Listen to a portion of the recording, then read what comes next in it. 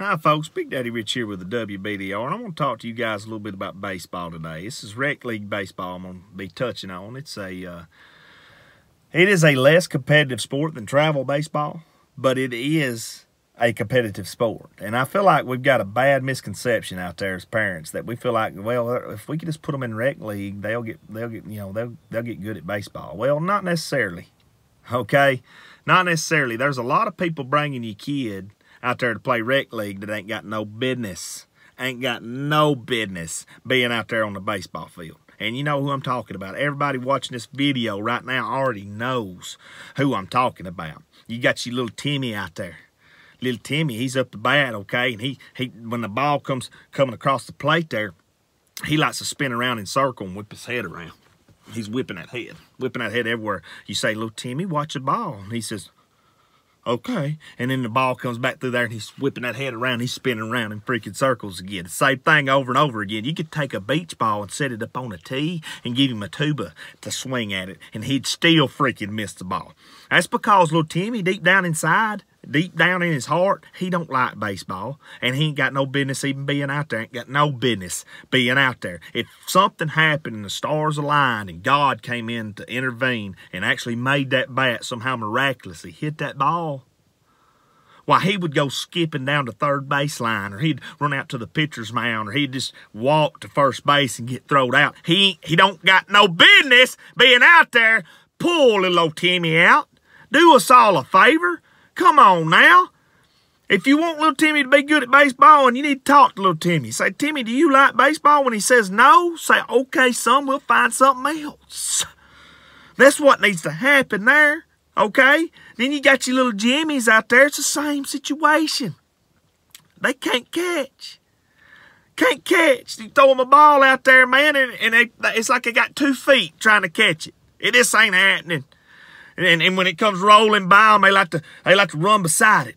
They have to run run along beside that ball. Okay, and then pick it up and they're gonna throw it. And when they throw it, it's liable to go anywhere, probably back out in the outfield. I'm telling you right now, poor little old Jimmy couldn't even catch COVID-19 if you threw it to him. Ain't got no business being out there. Ain't got no business being out there on the baseball field. And you know it. If he actually wants to play and he, he really does want to learn the sport, get him, get him outside and play with him at home a little bit because coach has got maybe six hours a week focus on practice. a lot of times less than that. You've got him all the time. All the time. Work with him in the yard. He'll get a little bit better. And if he don't really like it, don't put him in it. And then last but not least, for sure not least, it's Big Johnny. Big Johnny. He's eight years old, 350 pounds.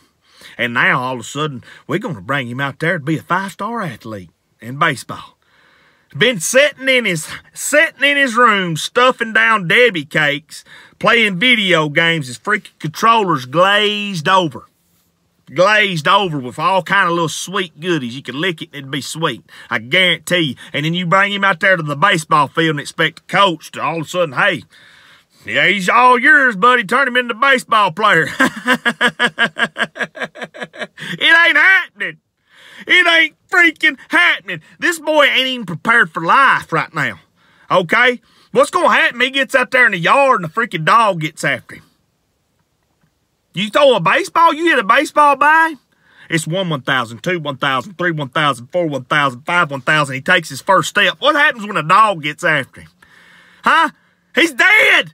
It's going to freaking eat him. He can't move. He can't move. Slim him up a little bit, man. Take your time to slim a boy up. I understand these kids that's got medical issues. Don't get me wrong. I, I understand we'll pray for you on that. But there's a lot of people out there saying they got medical issues when they let them sit there and stuff their face. The most exercise they get when they leave their bedroom to go to the kitchen to get another little Debbie. Ladies and gentlemen, use your brain. Quit blaming coaches for the way you kids are playing. You've got them all the time. You put forth your effort. Put forth thine effort into your children and see if you can't make them a better ball player. I can promise you, the coach wants them to be good. But he can't work miracles, okay? He can't do it. I love y'all. God bless you. Thank you for watching WBDR. If you need me, I'll call you.